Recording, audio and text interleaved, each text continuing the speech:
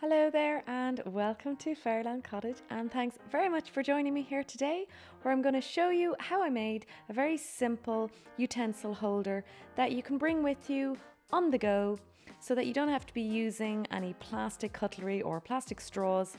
And it also doubles as a napkin. So let's get right into the video. To start with, get a napkin. Now, this is one I had in the house, and the measurements are 15 inches by 15 inches, so it's a nice square and it's just easy to work with. I gave it a quick iron just before I start making the design. And we're going to start with making the actual pouch section. So just fold it over like so, about 5 inches. Get the cutlery that you're going to be using and place it on the little pouch section with just a little gap at the bottom.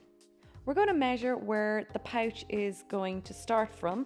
Draw a line there about at the top of the knife. It's not really that fussy. You can leave a few of the utensils showing and then draw a line the whole way across and this is what we're going to cut the little pouch out of.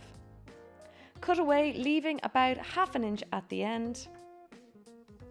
And then on the top section, mark it at half an inch and draw a line the whole way across. Now this is just going to be a very simple hem to keep it nice and neat because we're going to cut away this little section here and you can use that as a hanky. The little flap, just turn it under on itself, makes it nice and neat. And then on the bottom section where the cutlery is going to be, go down half an inch over at the side, cut that out and this is so you can fold it under so that it's hidden and again it's not going to fray. Give it an iron straight onto the sewing machine or you can do this by hand and go from the top all the way down to the bottom leaving about half an inch at the end. When you get there, spin it around, head across the bottom, spin it around half an inch from the edge and all the way up to the top. So that's the basic pattern. You've got your serviette with a little pouch section there.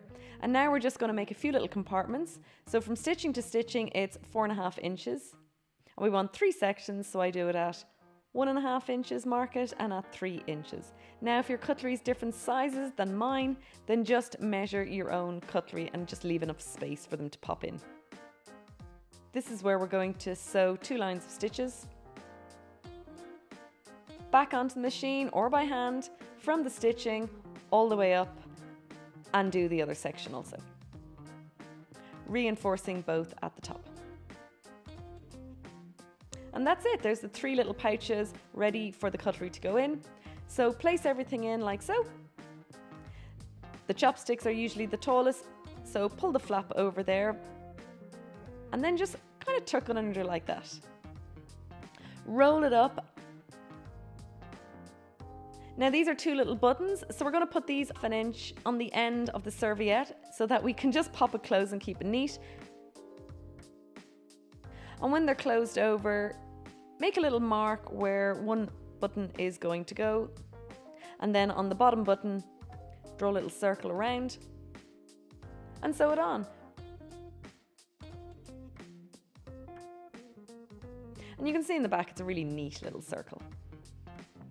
I finished off with a couple of knots.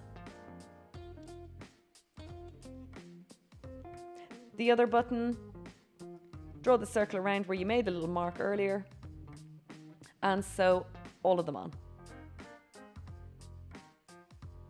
And there's our four buttons. Pop everything in, flap over, curl it under like so, roll it up. And two buttons to close so that it's nice and neat. And there you have it. It's really handy when you're out and about. You'll be able to reduce the use of one use plastic and then you'll also be able to use a napkin instead of any paper napkins. And that's it. Thank you very much for watching. I really hope you've enjoyed this DIY. And it's also a really nice idea, I think, to make somebody for Christmas. Thanks for watching. Say hi on Instagram, and I will see you in the next video. Bye.